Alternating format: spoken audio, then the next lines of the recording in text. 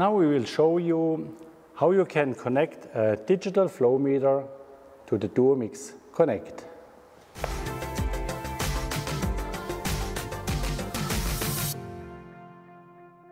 In the scope of delivery of the Duomix, you can find five different plugs.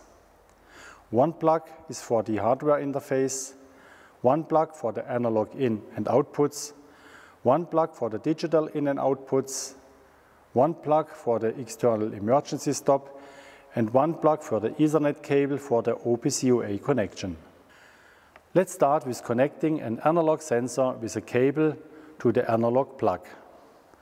First you have to open the four screws. Then you can disconnect the inlet with the pins. On the inlet you can find four terminal blocks with five terminals. They are A plus 24 volt, B ground, C analog inputs, the first three 0 to 10 volt, pin 4 and 5 with 4 to 20 milliamps. And D, the analog outputs, there are two with 4 to 20 milliamps. You have to disconnect one of these pins.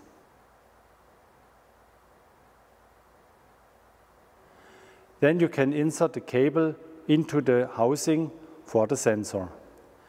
The brown cable is for the plus 24 volt DC on block A. The blue one is for the ground on block B. The white one for the flow rate connected to the block C terminal 4. The black one for the temperature connected to the block C terminal 5. In order to mount the plug correctly, it has to be in this position. Now you can remount the connector.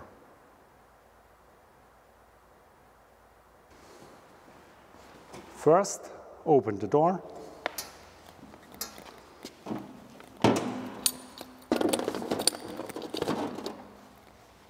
Disconnect the frequency converter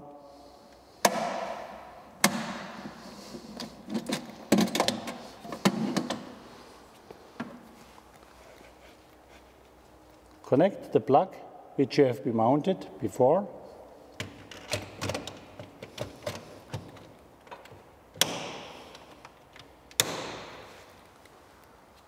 Turn the frequency converter back.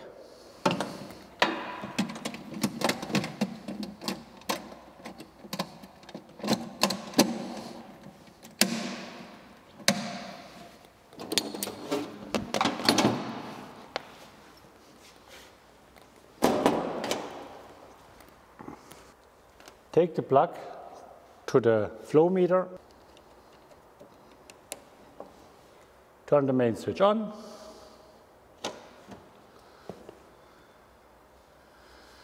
Now you can see the actual flow of the water and the actual temperature of the water.